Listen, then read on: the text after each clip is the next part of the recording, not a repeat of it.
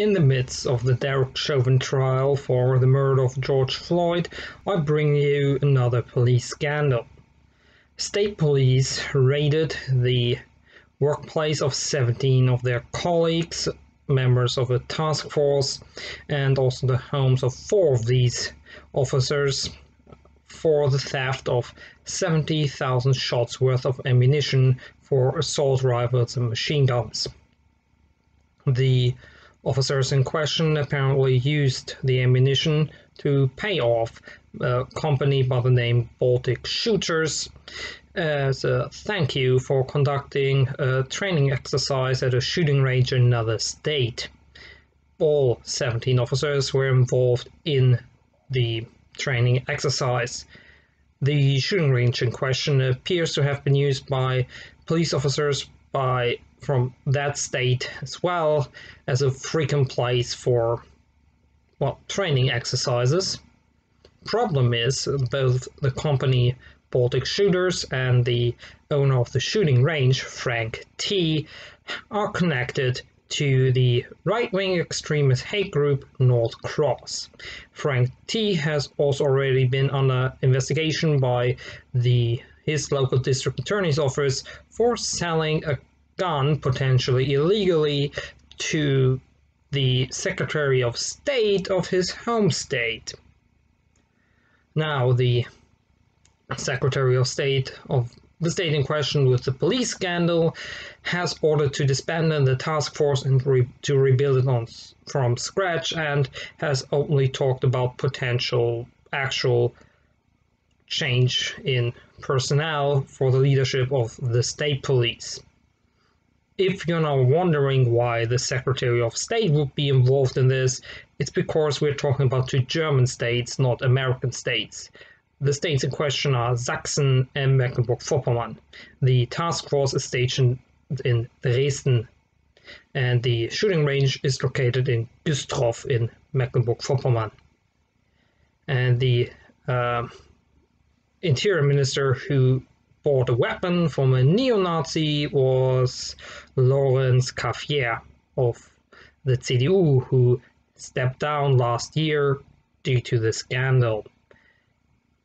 And while I welcome uh, Wöller's, that's the interior minister of Sachsen, uh, his uh, statement about disbanding the MEK, that's the task force, and rebuilding it from scratch, what I find troubling here is that we still don't really know, or there is no actual talk about finding out what attracts these kinds of people to work for the police. As I said in my video about not equating left wing and right wing extremism, the right wing has access to institutionalized power or actually owns institutionalized power by becoming members of the security state apparatus, to which the police obviously belongs. And in order to figure this out, or actually figure it out instead of just guessing, uh, we could use an actual scientific study into the subject matter.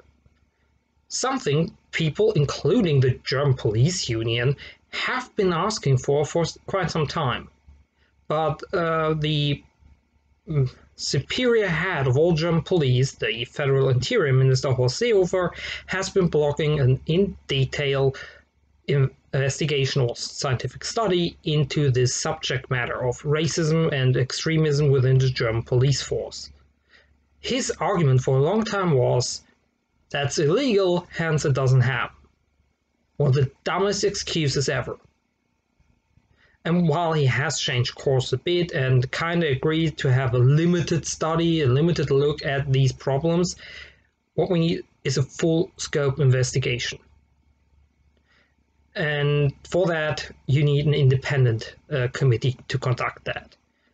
This criminal investigation that's right now going on and is headed by the General Attorney's Office or Attorney's General Office of Sachsen is conducted by the LKA, the, uh, the criminal state police, but the MEK was located in the state police. So colleagues are directly investigating colleagues. Since the investigation was caused by investigations of the district attorney's office in Schwerin in Mecklenburg-Vorpommern, maybe the police in Mecklenburg-Vorpommern should investigate this. If they weren't also involved in it, which, as I said, police from Mecklenburg-Vorpommern uh, are also known to use the same Nazi shooting range as the MEK from Dresden did.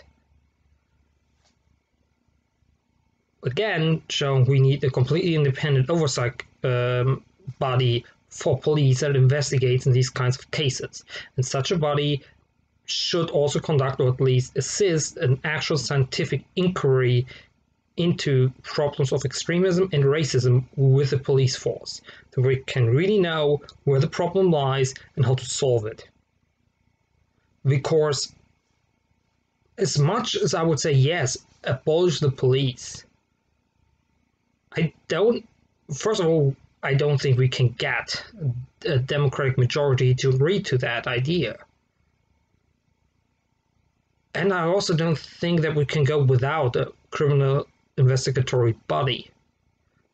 Murder will still happen, rape will still happen, and we need some kind of law enforcement body that investigates these things. We can call it something different than the police, but we can't just abolish the entirety of law enforcement.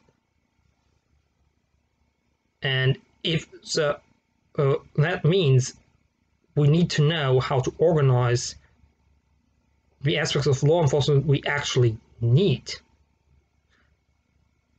in a way so that they don't become a danger to civil society. Because having right wing extremists within the police force or sympathizers with right wing extremism within the police force is a clear and present danger to civil society. No ifs or buts about it.